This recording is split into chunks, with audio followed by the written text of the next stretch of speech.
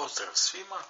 U današnjem videu ćemo raditi zadatak koji glasi pokazati korišćenjem vektora da sledeće tačke tačka A sa koordinatama 1, 0, 1, tačka B sa koordinatama 10, 14, 17, tačka C sa koordinatama 2, 2, 3, tačka D sa koordinatama 4, 4, 6, leže u istoj ravni. Ovo je zadatak koji je na višoj geodetskoj iz predmeta matematika 1 bio u septemberskom roku 2009. godine. Dakle, imamo neke četiri tačke koje su nam zadate i potrebno je da pokažemo da one leže u istoj ravni. Hajde da prepišemo te tačke, opet imamo tačku A sa koordinatama 1, 0, 1, tačku B, da se lepše vide sa koordinatama 10, 14 i 17, 10, 14 i 17, tačku C sa koordinatama 2, 2, 3 i tačku D sa koordinatama 4, 4, 6. Ono što je potrebno da uradimo jeste da pokažemo da one leže u istoj ravni. Tu da ležu u istoj ravni, drugi naziv za to je da su koplanarne. Kažemo koplanarne. Znači pokažemo da su te tačke koplanarne. Dakle, kad imamo neke tačke, pretpostavimo da one ležu u ravni, tako A, B, C, D. S obzirom da su nam date ove tačke, mi sad ne znamo da li su one u ravni ili u prostoru, potrebno je da pokažemo da se nalaze sve četiri u ravni. Za početak možemo da formiramo vektor. Recimo, formiramo vektor AB, koji će imati koordinate AB, koji će imati koordinate 10 manje 1, to je 9, 14 manje 0, to je 14 i 17 manje 1 je 16. To je naš vektor AB. Zatim možemo da formiramo vektor neki CD. Neka bude ovako. CD koji će imati koordinate 4 minus 2, to je 2, 4 minus 2 to je 2 i 6 minus 3 to je 3.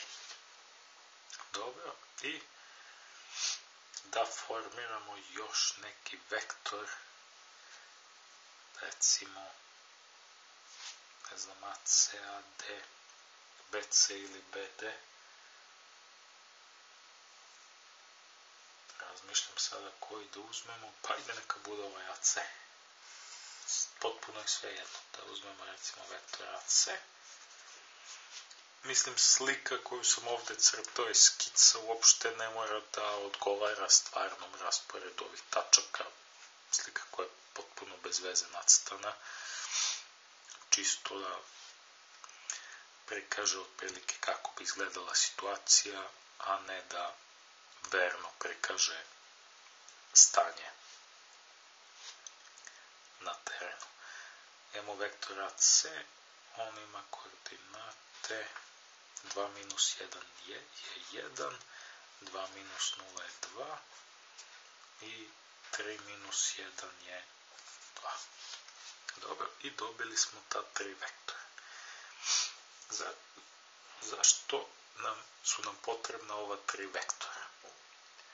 Pa recimo kada mi radimo sa vektorima i želimo da nađemo zapreminu nekog paralelepipeda. Sada ne znam koliko ću uspeti dobro da ga nacrtam.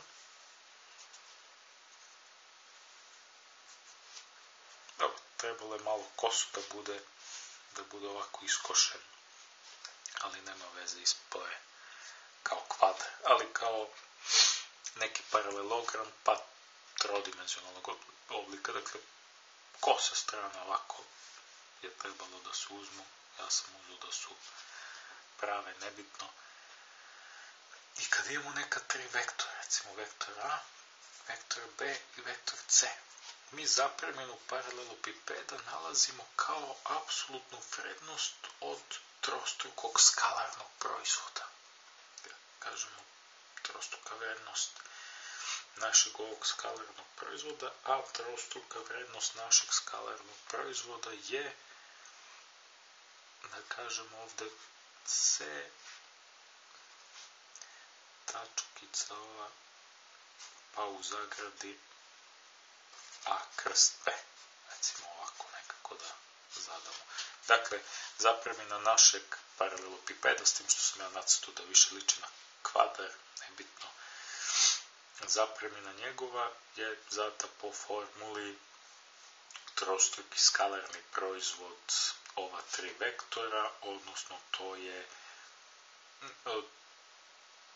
da, trostruki skalarni proizvod ovih vektora, to je a, dobijemo tako što prvo nađemo vektorski proizvod vektora i b i na kraju skalarno pomnožimo skalarno c sa tim vektorskim proizvodom i dobijemo, stavimo to unutar apsolutne vrednosti i dobijemo za premenu paralelopipeda. Ali, kad se tvrdi da su naše tačke koplanarne, to zapravo znači da one leže u istoj ravni i da vektori koji su obrazovani njima takođe leže u jednoj istoj ravni. Sada ako one leže u jednoj istoj ravni, onda kada bismo tražili zapreminu ta tri vektora, dakle imam vektor A, imam vektor B, sad vektor C ne bi bio onako normalan na njih kao u ovom slučaju, nego bi ležao sa njima u toj istoj ravni. Recimo ovako. I onda kada bismo pokušali da nađemo zapreminu našeg paralelopipeda, koji obrazuju ti vektori, a ta tri vektora ležu u jednoj tistoj ravni, dobili bismo zapravo da je zapremina jednaka nuli. Dakle, ako su ova tri vektora u istoj ravni, zapremina koju obrazuju, zapremina paralelopipeda koju obrazuju je jednaka nuli. A ta tri vektora, ako imamo ravni, to zapravo znači da se i ove četiri tačke kojima su definisani određeni ti vektori nalaze u toj ravni. Dakle, zapremina paralelepipeda je jednaka nuli. I sad kako naći tu zapreminu paralelepipeda kada imamo, recimo, ajde, vektor A, koji ima koordinate, ajde neka bude A1, A2 i A3, i kada imamo vektor B sa koordinatama B1, B2, B3 i vektor C sa koordinatama C1, C2, C3.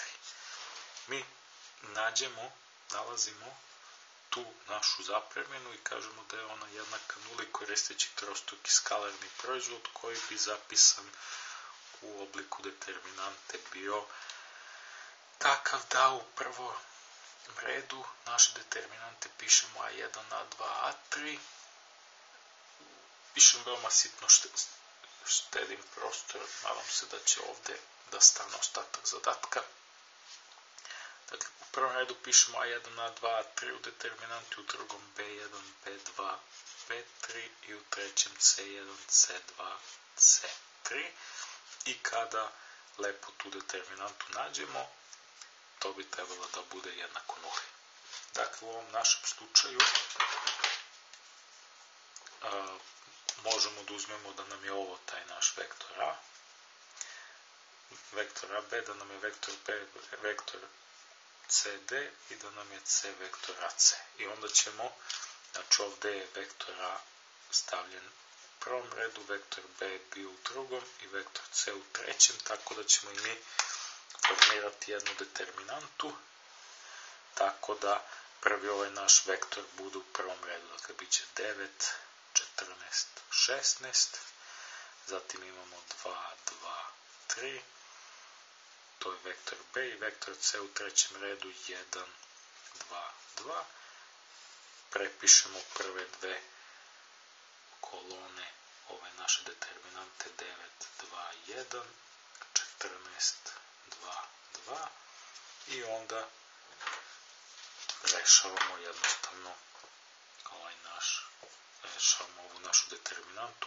imamo 9 puta 2 puta 2 plus 14 puta 3 puta 1 plus 16 puta 2 puta 2 minus 16 puta 2 puta 1 minus 9 puta 3 puta 2 minus 14 puta 2 puta 2.